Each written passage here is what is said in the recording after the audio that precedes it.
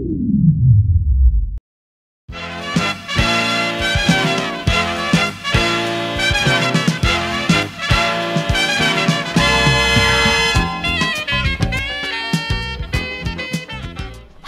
listeners dan sahabat Atma, perkenalkan nama aku Tia and welcome to Kemeja Podcast Merdeka Belajar only on Air Radio Make Your Day Sound Better. Halo listeners yang lagi dengerin di Spotify ataupun YouTube, gimana nih kabarnya? Are you okay? How are you today? Semoga baik-baik aja ya semua listeners semua di rumah ini. Kalau kemarin liburan semester udah tiga bulan di rumah aja, kalian ngapain aja sih liburan semester? Kalau aku sih lumayan hektik ya sama kegiatan-kegiatan kampus, but it's okay. Kalau listener semua di sini gimana? Apakah kalian healing ke Bali? Apakah kalian healing di Jakarta atau healing di rumah aja? But it's okay. Dan ngomong-ngomong tentang semester, ngomong-ngomong tentang semester baru, pastinya akan ada yang baru-baru nih. Pasti kalau semester baru, semester 7 udah mulai masuk skripsi, semester 5 itu udah mulai magang, semester 3 udah mulai tambah-tambah SKS ya karena SKS-nya makin berat dan juga untuk semester 1 selamat kalian udah jadi mahasiswa baru Unika Atma Jaya. Dan tentang semester baru pastinya akan ada semangat baru, akan ada juga pacar baru atau gebetan baru Ya, itu boleh juga ya.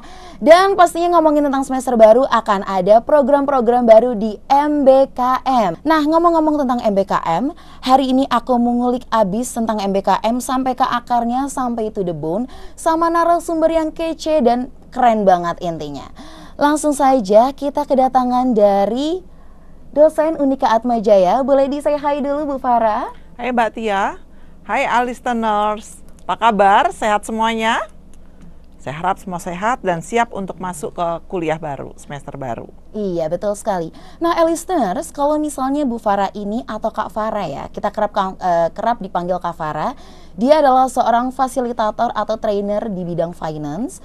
Kemudian Kak Farah ini memiliki publikasi di bidang jurnal, berupa jurnal dan juga banyak melakukan penelitian. Achievementnya itu adalah Kavara ini PIC penerima hibah mikro kredensial MBKM Dikti. Wah, keren banget ya listener semua di sini. Mungkin Kavara ingin memperkenalkan diri lebih kepada listener semuanya? Oke, terima kasih uh, Mbak Tia. Uh, listeners, kenalkan nama saya Kristiana Farah Darmastuti, tapi saya sering dipanggil Farah kalau di kampus dan juga oleh mahasiswa saya. Uh, saat ini saya adalah dosen di Fakultas Ekonomi Unika Atmajaya, khususnya di Prodi Manajemen, ya.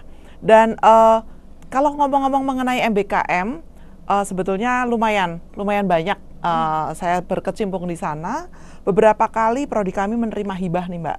Uh, hibah terkait MBKM. Jadi ketika tahun uh, 2021 ada dua hibah yang kami terima.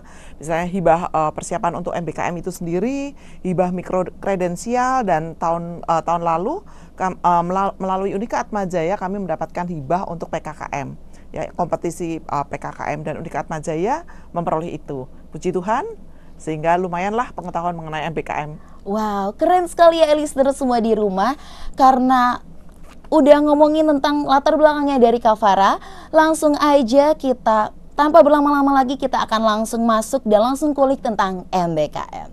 Nah, Kavara, sebenarnya MBKM itu apa sih? Kalau MBKM itu sebetulnya singkatannya adalah Merdeka Belajar Kampus Merdeka. Ini adalah program yang dicanangkan oleh Mas Menteri ya um, Pak Nadim ya Menteri uh, Kemendikbud Indonesia pada tahun 2020. Jadi uh, tujuan dari MBKM ini uh, sangat luar biasa karena beliau berharap melalui program ini dapat meningkatkan kemampuan lulusan melalui uh, baik soft skill, hard skill melalui berbagai macam program pilihan. Jadi di sini uh, para lulusan itu dipersiapkan menjadi pimpinan dengan program pembelajaran yang inovatif, yang lebih uh, fleksibel ya di luar kampus. Seperti wow, itu. Oke, berarti di luar kampus dengan adanya banyaknya program-program ya, pastinya betul, betul. ya. Oke, uh. baik.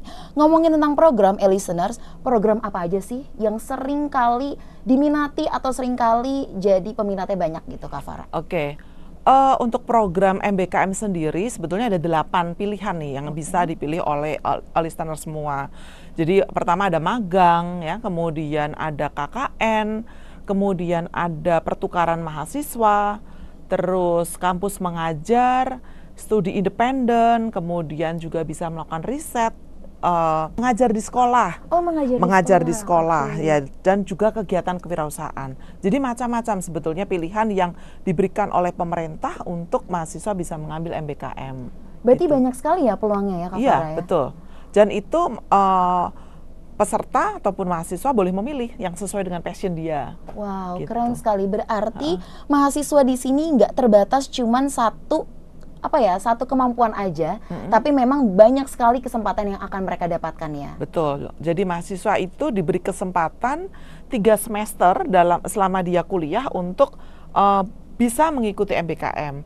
Jadi tiga semester itu terdiri dari dua semester bisa di luar, di luar kampus, dan satu semester belajar di uh, Unika Atmajaya, tetapi bisa berbeda prodi. Oke, antar prodi baik. gitu. Kalau misalnya itu adalah nasional, apakah ada kegiatan internasional, Kak Farah? Oh ada, ada banget. Ada Bisa sekali. banget. Uh, uh, khususnya biasanya yang banyak dilakukan oleh para mahasiswa itu adalah kegiatan student exchange. Oke. Okay. Ya, jadi pertukaran mahasiswa itu ada yang nasional, ada yang internasional.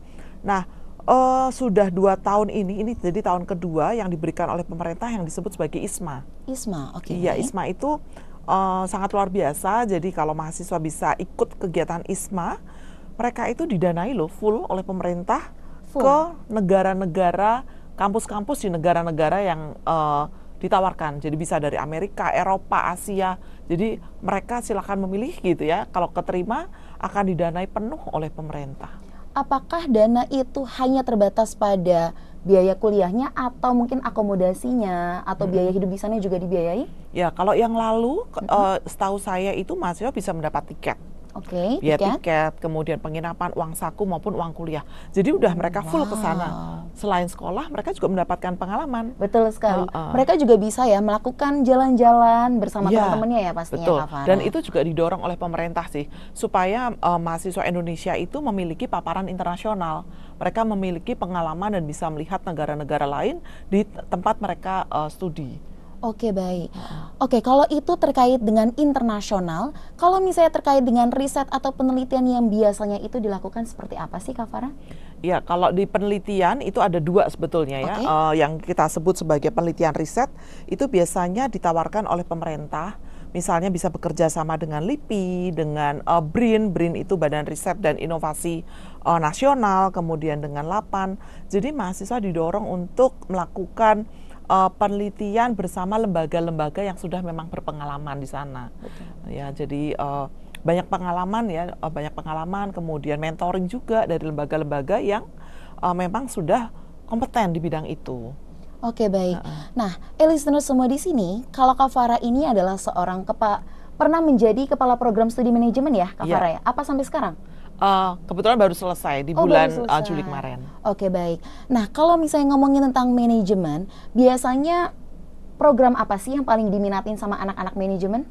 Oke, okay, kalau yang lalu itu kebetulan kami uh, di tahun kemarin merupakan prodi yang memiliki jumlah mahasiswa MBKM terbanyak. Okay. Kalau ditanya paling banyak itu hmm. mahasiswa kami itu banyak yang ikut magang hmm. dan uh, pertukaran mahasiswa.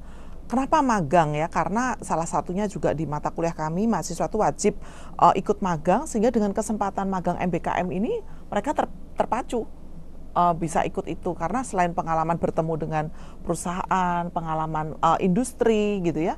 Terus uh, itu juga kesempatan mereka bisa menambah CV-nya hmm. gitu ya, hmm. menambah CV pengalaman dan juga banyak yang langsung diperpanjang tuh menjadi karyawan tetap. Oh, dalam perusahaan tersebut ya Betul. ya pastinya. Oh, iya, okay, jadi itu bagi mereka ya sangat luar biasa ya kesempatan persiapan mereka sebelum betul-betul nyemplung di dunia ya, industri. Betul sekali. Uh. Oke, baik. Kalau misalnya tadi kita udah ngomongin tentang program nih, listeners, sekarang kita ngomongin tentang manfaat atau benefit yang bisa didapatkan sama listeners semua di sini. Kira-kira apa, Bu Farah? Manfaat ya. Oh, gini yang jelas ketika mahasiswa itu ikut MBKM, dia akan keluar nih dari zona nyamannya hmm, mereka, hmm, okay. ya dari uh, kampusnya, dari teman-teman yang biasa mereka ketemu. Jadi mahasiswa ini didorong mengembangkan kemampuan soft skillnya mereka, misalnya komunikasi, ketemu dengan orang, gitu ya, negosiasi, presentasi, di mana bukan tempatnya mereka yang biasa, hmm. gitu ya. Jadi uh, itu juga mendorong pengalaman peningkatan soft skillnya mereka. Kemudian juga uh, manfaat berikutnya pasti mereka bisa mencocokkan antara teori dan praktek. Praktek nyatanya kayak apa sih? Gitu. Hmm. Mereka bisa belajar banyak dari berbagai lingkungan, sudut pandang dari yang berbeda. Kalau dari mungkin di kampus hanya teori gitu ya, sekarang mereka nyemplung betul. Jadi ini juga menjadi bagian pembelajaran yang experiential learning Oke. Okay, ya, jadi mereka belajar secara eksperimen, ya terjun langsung, itu pasti akan banyak banget manfaatnya. Oke okay, baik. Uh -uh. Kalau misalnya dari itu kan dari soft skill ya, Kak Farah ya. Tapi kira-kira nih biasanya kan listener semua maunya bekerja ada bayarannya gitu Kak Farah. Mm -hmm. Nah biasanya kalau magang gitu dibayarnya sih Kak Farah? Tergantung. Oh tergantung. Tapi hampir oh, banyak banget sih, hampir uh, berapa persen ya, 70-80 persen lah perusahaan yang mempekerjakan magang rata-rata mahasiswa akan mendapatkan gaji. Oh. Ya, tapi ya nggak sama ya dengan kalau karyawan biasa. Lumayan lah mm -hmm. buat makan, betul, buat transport. Betul sekali. Yang penting adalah pengalamannya itu. Betul sekali. Pengalaman hmm. dan pastinya relasinya semakin luas ya Kak Farah ya. Karena kita bekerjanya juga dengan orang-orang yang sudah berpengalaman dengan senior-senior. Oke baik. Itu terkait dengan benefit atau manfaat yang bisa e-listeners dapatkan. Kalau terkait dengan persyaratan, persyaratan. mengikuti MBKM itu seperti apa Kak Farah? Ya, uh, persyaratan itu sebetulnya tergantung dari uh, fakultas ataupun prodinya masing-masing. Tetapi secara prinsip pada semester 4 itu mahasiswa bisa sudah boleh okay. ikut kegiatan uh, MBKM. Ya hmm. di semester kalau di prodi manajemen semester 4 itu sudah mulai mahasiswa untuk uh, mendaftar uh, ke universitas lain, ikut pertukaran hmm. mahasiswa atau mendaftar di kewirausahaan ataupun juga magang gitu. Oke baik, berarti mulai dari semester 4. Ya. Kalau terkait dengan nilai IPK kah atau mungkin terkait dengan nilai TOEFL seperti itu? Ya. Kak Farah? Oke, kalau untuk magang itu biasanya uh, mereka mendaftar, kemudian masalah diterima atau tidak itu tergantung dari perusahaannya. Oke, baik. Ya sama sih seperti mendaftar kalau karyawan ya, iya, betul lamar karyawan, jadi mereka harus melamar segala macam, kemudian mereka diterima, kemudian ikut. Uh, itu syaratnya. Kalau yang untuk pertukaran mahasiswa, kalau untuk yang luar negeri pasti IPT atau TOEFL. Hmm. Nah, TOEFL ini juga disesuaikan uh, pada setiap masing-masing perguruan tinggi. Oke, baik. Seperti itu. Tapi Unika Atmajaya banyak sih yang sudah lolos mahasiswanya bisa ke sana. Oh ya, satu lagi syarat bahwa mahasiswa itu harus aktif. Jadi nggak boleh mahasiswa yang cuti terus ikut MBKM nggak bisa. Oh. Atau tidak aktif gitu ya. Jadi dia harus aktif dan terdaftar di PD Dikti. Oke. Jadi kalau kalian berarti harus terdaftar di uh, ikut KRS semesteran. Oke baik. Berarti nilai SKS tersebut bisa dikonversi nggak Bisa. Bisa, okay. itulah kelebihan dari uh, eh, MBKM. Oh. Jadi ketika uh, listeners pada ikut MBKM gitu ya, mau magang, mau uh, pertukaran mahasiswa atau ikut kegiatan kewirausahaan itu bisa dikonversi 20 SKS. Hmm. Jadi nggak perlu kuliah di ya, kelas, betul, betul. enak banget ya. Enak. Jadi uh, kuliahnya adalah di tempat lapangan, di lapangan. Okay. Nanti penilaian segala macam itu bisa dilakukan antara dosen Atma dan mentornya, mentor di perusahaan atau mentor di lapangan. Oke, okay, baik. itu. Oke. Okay. Mm-hmm. Nah, kalau tadi terkait dengan persyaratan nih, listener semua di sini, sepertinya ya Kak Farah ya, kayaknya aku juga tertarik deh untuk ikut MBKM nantinya karena aku uh sekarang masih semester 3, uh jadi belum bisa nih Kak Farah oh, okay. gitu. Tapi kayaknya nanti aku akan tertarik pada pertukaran pelajar. Hmm. Nah, pertukaran pelajar itu berarti Hmm, terkait dengan biaya tadi sudah dibahas juga, terkait dengan konversi nilai juga udah dibahas. Tapi terkait dengan negara tujuannya nih Kak Farah. -hmm. Pada penasaran nggak sih listener semua di sini, negara tujuannya itu bisa kita pilih atau memang sudah ditetapkan? Oke, jadi gini listener semua. Uh, program MBKM itu sebetulnya bisa macam-macam. Mm -hmm. Yang pertama adalah MBKM yang memang ditawarkan, disediakan oleh pemerintah listeners bisa buka namanya uh, webnya Dikti yang program MBKM. Di situ akan ada macam-macam program-program apa yang ditawarkan oleh pemerintah dan bekerja sama dengan pemerintah Indonesia. Okay. Itu yang pertama. Tetapi kalau misalnya listeners semua tidak uh, keterima di sana, itu juga ada program yang ditawarkan oleh uh, universitas kita, Unika Atmajaya. Jadi uh, banyak banget universitas-universitas di negara asing yang sudah berkolaborasi dengan kita. Okay, Jadi kita punya MOU PKS itu kalau memang sudah ada MOU-nya maka Anda juga boleh ambil ke sana. Negara mana silahkan saja pilih uh, semua negara yang memang ada MOU-nya dengan Unika Atmajaya. Kalau kita lihat di Dikti ya dilihat aja di program ISMA yang ditawarkan negara apa saja yang ditawarkan silahkan pilih yang sesuai dengan uh, minat dan bidang uh, listener semua. Berarti tergantung dengan prodi yang akan kita jalani nantinya ya? Uh, tidak harus dengan prodi loh. Oh gitu. Uh, luar biasanya MBKM ini adalah Anda bisa nyebrang mau belajar apa pun boleh jadi bisa dari misalnya mm-hmm. dari uh, fakultas teknik mau belajar ekonomi boleh oh, gitu, ya. gitu ya. Kemudian okay. dari ekonomi mau belajar bidang uh, teknik atau sosial juga boleh.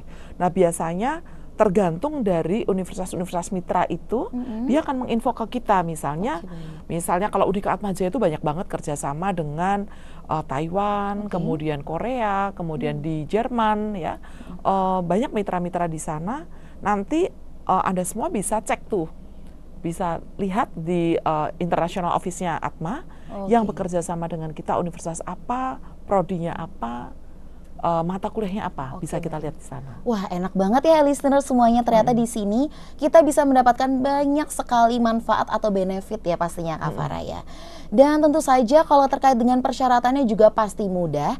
Asal e-listener semua di sini pastinya bertanggung jawab, aktif juga ya selama yeah. perkuliahan bukan berarti harus cuti ya Kak Farah. Iya. Gitu, okay. Gak boleh cuti. Oh malah nggak boleh cuti. Gak boleh iya, cuti. pokoknya nggak boleh cuti. Harus terdaftar aktif. Harus terdaftar aktif. Iya. Oh iya satu mm -hmm. lagi, Mbak.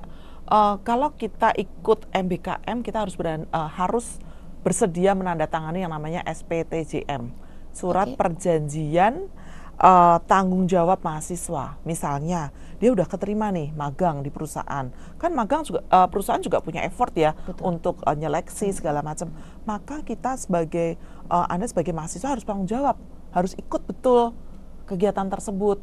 Sudah diterima nih di negara mana atau ikut ISMA, nggak boleh mundur. Jadi kita hmm. harus bertanggung jawab betul uh, jadi ada ada pernyataan bahwa harus ikut sampai selesai. Oke baik. Uh. Ah Kak Farah, kalau misalnya tadi udah kita ngomongin tentang persyaratan, kemudian ngomongin tentang benefit, hmm. motivasinya sekarang dari Kak Farah untuk teman-teman semua di sini e-listeners yang mau ikutan MBKM nantinya.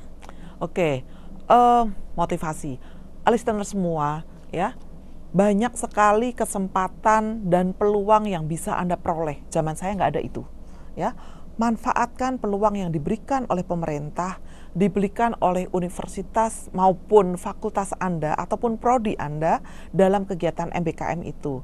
Ayo tingkatkan kemampuan soft skill, hard skill, siapa tahu menambah ilmu baru, teman baru dan mungkin kerjaan baru uh, di kegiatan MBKM tersebut. Ya, jadi jika Anda sudah semester 4 ke atas, silahkan join. Pilih program MBKM apa saja yang kira-kira cocok dan sesuai dengan passion Anda. Oke, itu semuanya eh, listeners, itu adalah motivasi dari Kavara Dan motivasi tadi menutup perjumpaan kita hari ini di episode yang pertama. Terima hmm. kasih banyak Bu Farah yang sudah menjadi pembicara hari ini. Baik dan eh, listener semua di sini jangan ke mana-mana, akan ada episode yang kedua, yaitu isinya adalah sharing dari salah satu mahasiswa dan salah satu mahasiswa itu adalah sudah menyelesaikan program MISB atau magang yang bersertifikat. Wah, keren banget ya listeners. Oleh karena itu, jangan lupa untuk follow Atma Radio, follow Unika Atma Jaya dan juga pastinya subscribe YouTube-nya Unika Atma Jaya dan juga Atma Radio. Oke, langsung aja kita say goodbye. A Radio Podcast, make your day sound better.